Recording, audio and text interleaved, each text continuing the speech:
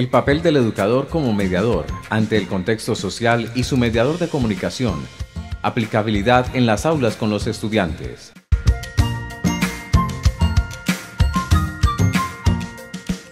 Repensar la formación, en donde mediadores y estudiantes cumplen un desempeño de roles, donde priman el respeto, la libertad y la autonomía en la construcción del conocimiento.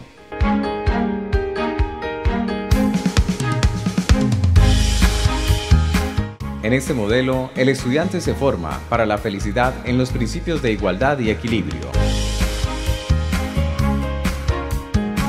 A medida que el sujeto de la formación va desarrollándose involucra a todos aquellos agentes con los cuales interactúa, la familia, las comunidades, la institución educativa y el mediador principal es el docente. El mediador del conocimiento actúa bajo los siguientes principios. Acepta e impulsa a la autonomía e iniciativa. Usa materiales físicos interactivos. Usa terminologías y herramientas cognitivas. El mediador y el estudiante deben estar en una interacción permanente para construir conocimiento.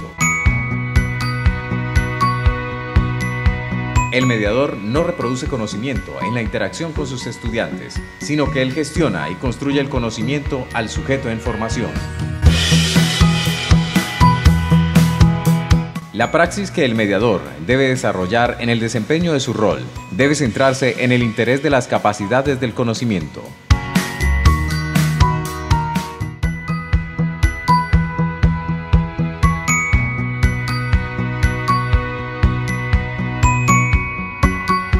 Al mediador le corresponde despertar el asombro y el entusiasmo del estudiante en el contexto de la construcción del conocimiento.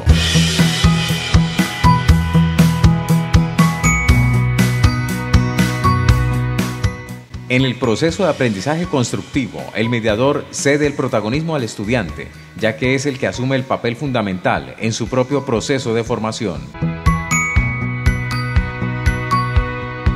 En los niveles de preescolar se les da a conocer diferentes tipos de conocimiento a partir de las experiencias, como sembrar plantas o hacer figuras con bloques. En la educación superior, los proyectos y aprendizajes basados en problemas reales hace que el estudiante pueda contextualizar de manera palpable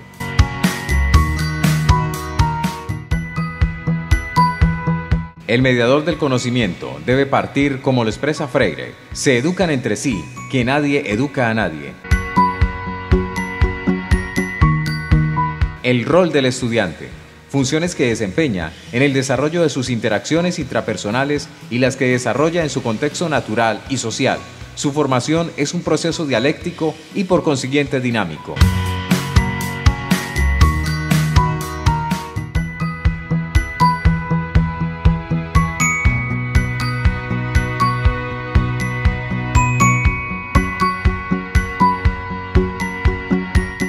Aunque es importante aclarar que el mediador de conocimiento no pierde su papel de autoridad dentro del aula, su rol siempre será crear o formar un puente entre el conocimiento y el estudiante, y en el caso de la evaluación del sujeto del conocimiento, el paradigma constructivista ampliado ofrece mayores alternativas que van mucho más allá de un examen escrito.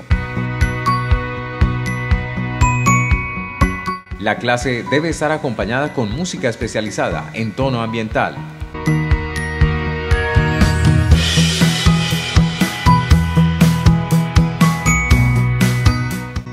Dentro de las etapas de la clase está el saludo. La reflexión.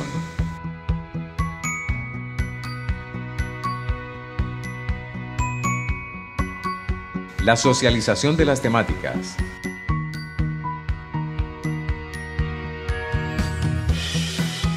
En la evaluación se aplica la autoevaluación.